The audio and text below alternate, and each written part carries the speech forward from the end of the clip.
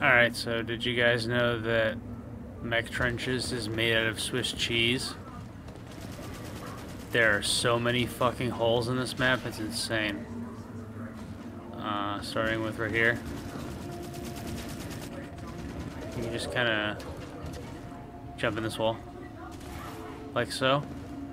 Now this this one's pretty limited. There's not a whole lot you can get here because you're blocked in by invisible walls there and above. Normally you'd be able to go up.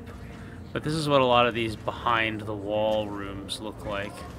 They have this same structure and you can kind of walk down the hallway. You can uh, stick your face back into the level and peer through the walls if you want.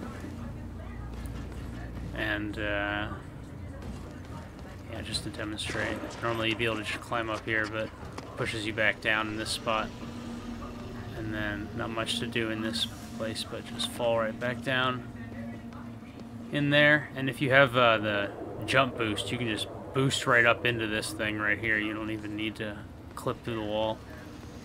Uh, but yeah, you, you, you don't even know. Well, there are there are many more interesting places to get out of bounds in this level, and uh, this is just the first one.